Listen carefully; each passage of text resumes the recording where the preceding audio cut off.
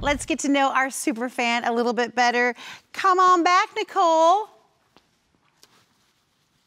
Hey. Hey, Nicole. Well, I want to just thank you so much. I, I love that you love, you watch the show all the time. You watch it with your grandson?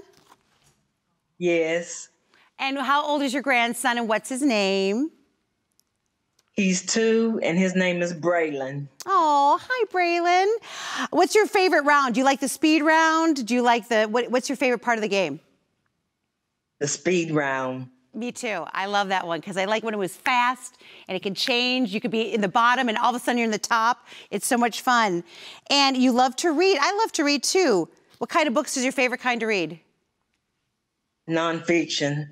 Me too. Mysteries, romance? Romance. Yeah, I feel you. okay, well, I'm going to play, I'm going to give you our, one of our categories, a person, place, or thing.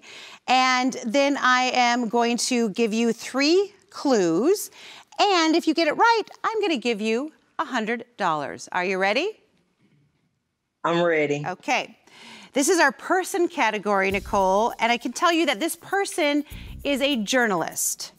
Okay? Here is your first okay. clue. This person is a political TV commentator.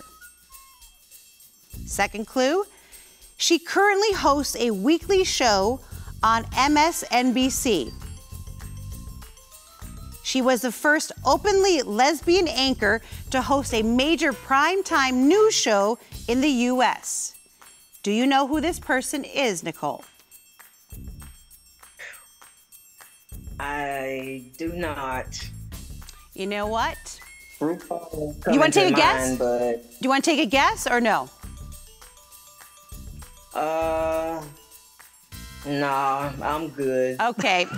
We don't need this. It was Rachel Maddow. That's who we were looking for. We are looking for Rachel Maddow. And you know what? It's all good because you know what? They're working for you right now. So why don't you tell them, get to playing and win me the money? Get the plan and win me that money.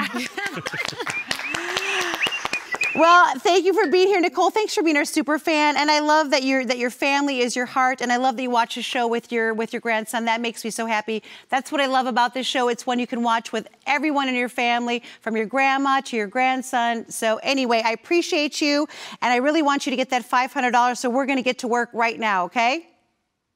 okay, thank you. Thank you, Nicole.